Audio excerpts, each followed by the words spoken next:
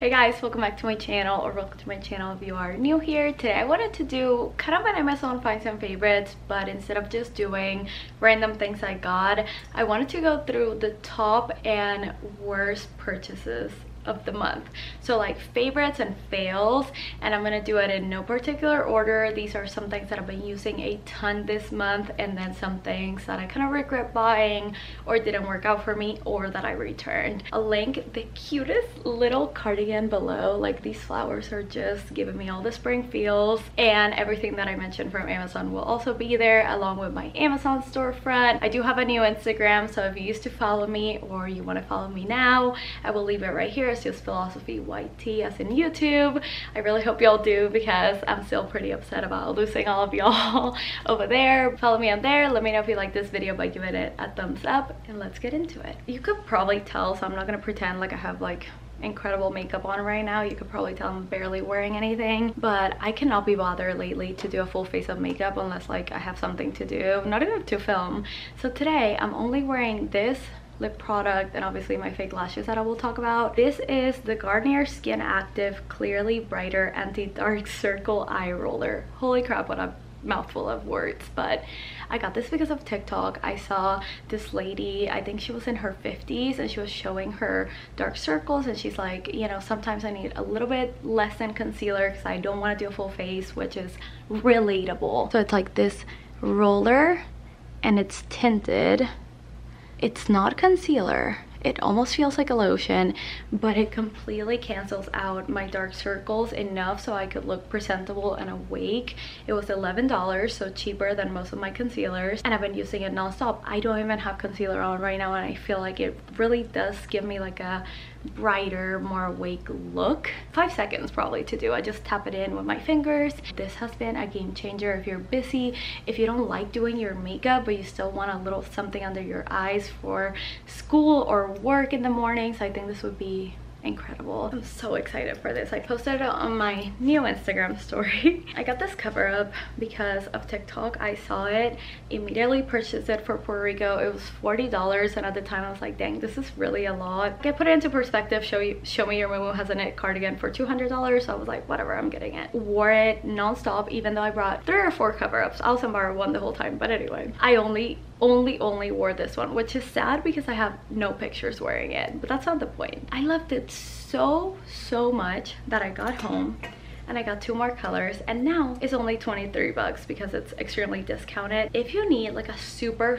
fun cover up for the summer that doubles as a dress, I would so wear this with like a nude slip. 23 bucks. Look at the colors on this. Like I am obsessed obviously this is my favorite because it's pink and very me but all of these are so darn cute. I wear a size small. It hits me perfectly like not too short not too long. Knit is so in right now and i just love it so much. So i had to share now before. First it goes up in price and two it sells out because so many sizes were already kind of like selling out. So if you need a cover up or you think you will or you're going on a fun vacation first of all i'm jealous get it. Trust me you will not regret it. You might be thinking Filo what's up with your lashes? They look kind of weird.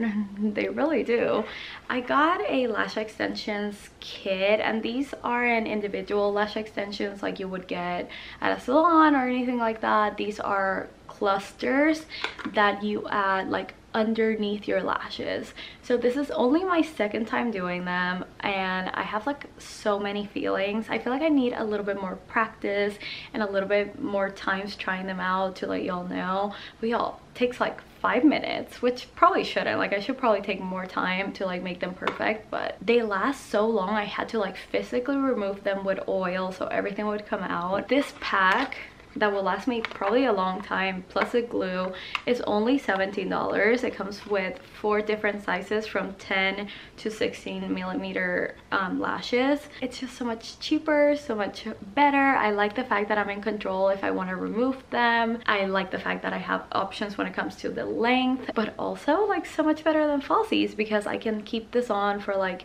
a week or less or more if I want to and I could take them on a trip and just I don't have to reapply them i've worked out in them i I'm obsessed. Honestly, it makes my life so much easier and I love the fact that I'm not spending 70 to 90 dollars like twice a month for lash extensions. This is a win in my book. I will update y'all soon and maybe even do like a little, not tutorial, but like show y'all how I've been applying them. I'm sure that would be really interesting to look at, but I really want to show y'all because even like my friends, I've been texting them like, oh my god, y'all need to get this. I'm actually so sad about this fail and this update because I about these since I got them back in October during Prime Day. Sadly, these are not travel friendly for me. I went on two back-to-back -back trips last, well, this month, and this part right here, I don't know if y'all can see, like that little thing that goes right in between like your ear right here, y'all, it is so painful after a while and I hate it because I love the noise canceling feature on these. It was so nice not to hear crying babies and people talking and you know things going on in the plane even that little noise like the rattling noise that the plane makes i couldn't even hear it so it was very easy to fall asleep except for the fact that my ears were throbbing with pain because it was like really up there. So i think i need to get like some overhead canceling like noise canceling headphones for travel and then just save these for like my everyday life. They are good headphones. Unfortunately they're just like a little too painful after like a few hours. Okay i'm using this as an excuse to show you all footage of olivia at the little gym for the first time. Her favorite thing was a little ledge that she could balance on. She's always stepping on stuff and like wanting to kind of like find her balance friends so I decided to finally order these from Amazon and these are kind of falling in my fail category. She's not really loving them. I can't tell if she's maybe a little too young. She's officially 18 months now and I don't know, especially the taller one, it's this one, she gets a little scared. I got the six pack and the only reason why I bought it is because it was on sale. Six of these usually retail for about $69 plus tax and all that. I got them for 49 so that's the only way I could justify it. And even then I do think these are a little pricey, especially because she doesn't seem to be loving them. It comes with three different sizes and the nice thing I guess is that they all stack together. They do have different color combinations but you already know I had to pick up the pink I just don't know if this is something she'll actually use and if not I guess I could always sell it or donate it but for the price I was expecting her to love it a little more so we'll see I'll definitely keep you guys updated okay I'm issuing a small trigger warning if you get easily grossed out by bodily fluids. Just skip a few seconds. When I tell you I cannot rave about this enough. This is probably like top five must-have mom products. So much so that like ours like randomly died and stopped working because i think liquid got in it and i reordered it. I get it for every baby shower i go to. It's just incredible and i know people love the frida baby one but like why would you willingly suck snot out of your child's nose instead of just using an electric one i would turn it on actually i might okay ready this is why i said it was gross um, Olivia had a lot of congestion recently. Look at all the disgustingness inside of this. This is just like probably two days worth because I cleaned it beforehand and I will clean it. This whole thing comes apart so you can really get in there and clean it. Oh, it's so disgusting. You don't even need a close-up. Anyway, I'm obsessed with this. It's incredible. It has like a little... I'll turn it on. That's the suction. Then it has like light to distract them and Olivia's favorite thing, which is that song, but she's napping, so I won't turn it on. And then alongside, this kind of like goes together. This Frida Baby Nose Frida Saline Mist Spray is amazing. I used to have the little drops, and I do find that with a toddler who refuses to put this up her nose. This is 10 times easier and it really gets in there and you're able to suck more out especially when they're congested or sick. This is incredible. Like i highly highly recommend that you can even get at target but this is really the star of the show. Okay this is a two-parter of fails. Okay. I used to do dip powder nails all the time back in 2020 when I had a lot of time on my hands. You know, I had no baby. I could just spend three hours doing my nails. Recently, um, my nails have been a little longer. So for the past two years, I've been pretty short and I've just been doing my regular glue-on fake nails. I decided to try doing um, dip powder again and this is what I had for the extensions and y'all, I freaking hate it. I think the sizes are so awkward. Sorry, I don't really know why I'm so red right now. I think I'm a little hot. I digress. The sizes are so awkward. Most of them are so big. If you have tiny nail beds, do not get this like this is probably like the worst out of all the ones i've tried from amazon the packaging sucks this morning when i went to grab it to show it to y'all everything fell out so you can tell how fun that was and then the way they're arranged sucks because it goes from like the pinky fingers over here the like index fingers over here and then like the thumbs are over here i i hate it i literally hate it i don't know how much this was but i couldn't recommend it less so back to a dip I don't know why I talk so much. Like I said, I started doing dip again, which is why I needed those extensions. And I'm so embarrassed to show you all my nails. I did this last night. I guess they don't look like terrible. I got this dip powder kit from Beetles off Amazon. It was like less than 40 bucks and it came with a ton of different colors. My issue is number one, the base is too sticky, which you would think it's a good thing, but it doesn't dry, dry quick enough. So everything just starts clumping up, which is just not ideal. And then when you go to brush it away, I don't know if y'all can see, like it darkens. It's so odd. And then the colors are not opaque enough where like this is four coats and I feel like you can still see some of like the translucent and like I'm not good at doing nails. I'm not blaming the, the kit, but I just feel like the quality is just not there which is weird because I think Beetles is a pretty good nail brand but maybe I need, I need more practice. Maybe it's this color. I don't know. I will keep you guys updated. I have a bone to pick with Olly because I tried the recovery sleep gummies. They're just like melatonin gummies with some sort of like thing for your muscles if you're working out. And i really like them. I didn't think they were too strong. They work really well. They didn't make me groggy or racy dreams or anything like that. This is the worst. Like this is just like the regular sleep gummies. I've been having the most insane dreams thanks to this. I can't fall asleep right away. I wake up like I didn't sleep a single minute. I despise these. Okay, there has been a product by Amika, like a hair tool going viral on TikTok. It's like 90 bucks. So I thought I would find an alternative. So I bought this from Conair, which I love their wands and their curling irons. I think they're really good for the price. This was $11. But y'all, this did not do it for me. The bristles are too hard and no matter what, break my hair or get tangled up it doesn't have enough like heating. Um, so the only thing that heats up are these little silver strips. Can y'all see that? And like the actual bristles don't really get enough heat so they don't do much. It's also too thin it's just like not a good product for me or my hair.